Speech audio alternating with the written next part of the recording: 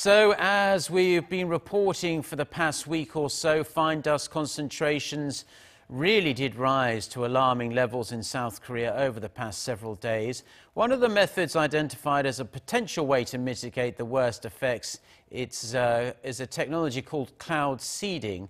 Tests are already being carried out in the skies above South Korea. Uh, Cha Sang-mi tells us just exactly how it works and how effective it could possibly be. In a bid to tackle rising levels of fine dust in the country, the South Korean government has turned to creating artificial rain. Known as cloud seeding, the method involves aircraft loaded with canisters full of chemical substances, such as silver iodide, which are dispersed into the air.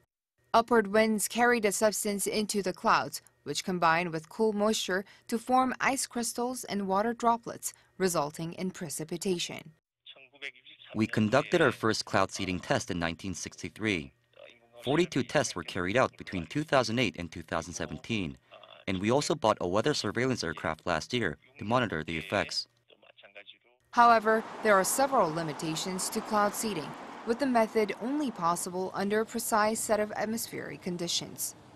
South Korea's weather agency and the Environment Ministry say that the fine dust is reduced when there's over 10 millimeters of rain per hour, but so far, Korea Meteorological Administration has seen less than one millimeter of rain, far short of the target.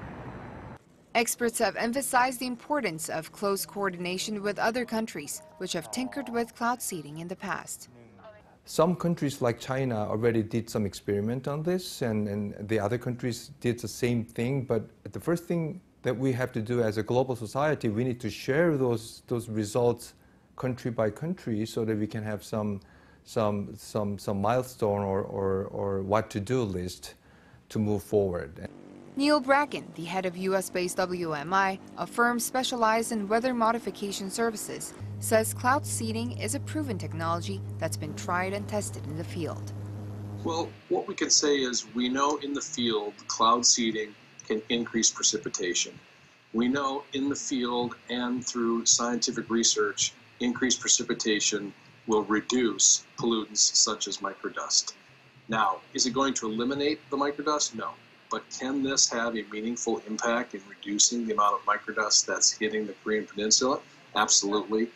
The government also calmed public worries concerning toxic rainfall mixed with fine dust, saying low pressure clouds will cycle out polluted air before the fall of precipitation.